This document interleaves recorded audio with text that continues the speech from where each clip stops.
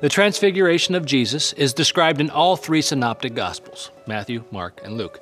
Uh, many consider it one of the miracles of Jesus, but different from the others, because it's not performed by Jesus, but it happens to him.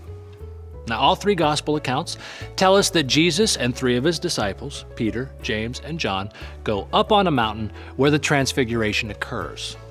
Jesus shines with bright rays of light, or as Matthew chapter 17, verse 2 describes it, and his face shone like the sun, and his clothes became dazzling white.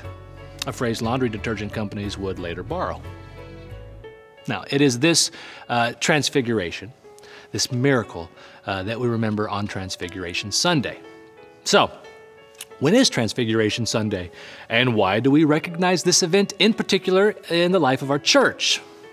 Now, sounds like you are in the right place to find out because we are talking about Transfiguration Sunday on this episode of Chuck Knows Church.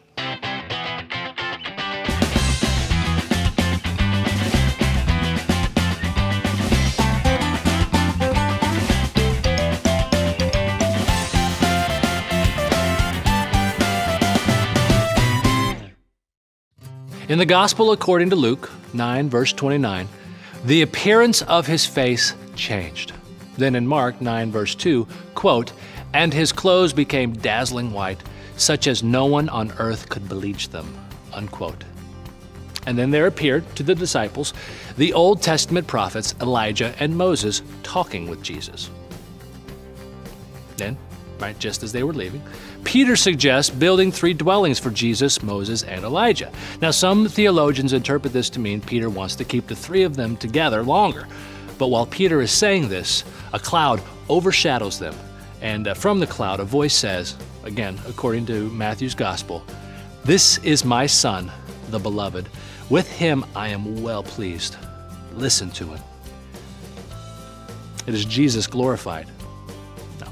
Uh, going back down the mountain, Jesus orders Peter and James and John not to tell anyone what they've seen, uh, according to both Mark and Matthew, until after the Son of Man has been raised from the dead. This confuses his disciples as they question what Jesus means. Now, of course, Jesus foreshadows the cross and his resurrection. Now, all three synoptic gospels uh, relate very much the same story of the Transfiguration. Uh, it's widely considered a momentous event because it is a time in which human nature and God meet. The temporal and the eternal, uh, with Jesus seen as the connection, like a bridge between heaven and earth. The Transfiguration is also a bridge between Jesus' public ministry and his passion. From the time of the Transfiguration, Jesus sets his sights on Jerusalem and the cross. We celebrate Transfiguration Sunday uh, before the Passion so that we may give ourselves anew to the gospel at Easter, uh, sharing the dying and the rising of Christ. Now, in the United Methodist Church, and for many Protestants, Transfiguration Sunday is the Sunday before Ash Wednesday, before Lent.